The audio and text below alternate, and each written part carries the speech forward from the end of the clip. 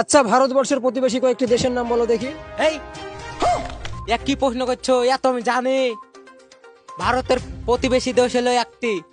মুম্বাই দিল্লি বহরমপুর কলকাতা চেন্নাই কেরালা। আমার এদিকে সবাই কাজ করতে যায়। আমি যাইনি আমিও যাব কেরালায় কাজ করতে।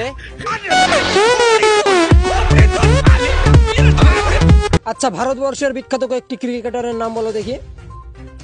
কেন গো মেসি রোনাল্ডো? রাসেল জ্ঞান সুজন তারপর রাইস্টার আব্দু ভাই। এরাই তো। সানিয়া মির্জা। হেভি লাগে এর খেলা দেখতে। খতম। আচ্ছা বলো তো ভারতের জাতীয় পশু কি? কেন গো মুরগি? তুমি জানো না নাকি? ভারতের জাতীয় পশু মুরগি হলো কীভাবে এত ছোট জিনিস? মুরগি আমাকে আন্ডা দেয় ডিম দেয় ওগুলো আমরা খাই আবার গোস্ত দেয়। লাগে বিজ্ঞানীরা ভাবনা চিন্তা করে ভারতের জাতীয় পশুর নাম দিয়েছে মুরগি।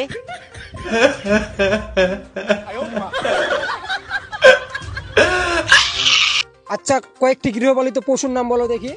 গৃহপালিত পশু আবার তুমি কি বলছো? মানে যেগুলো আমরা পুষি আমাদের বাড়িতে থাকে সে পশুর নাম বলেছি।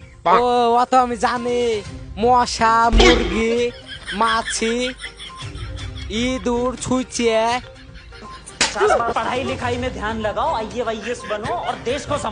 আচ্ছা তোমাকে একটা সিম্পল প্রশ্ন হচ্ছে আমরা মশারি কিসের জন্য টাঙ্গাই? সামান্য এই প্রশ্নটা জানো না তুমি? না তুমি বলো। ঠিক আছে শুনো তাহলে। বিশাল যদি ঝড় হয় ঠিক আছে? আমার বাই চান্স ছাদটা উড়িয়া গেল। ওর লেগে সব ধুলিয়ে মাটি টাটি সব ঢুকে পড়বে। ওর লেগে মশাই টাঙ্গে ঘুমাই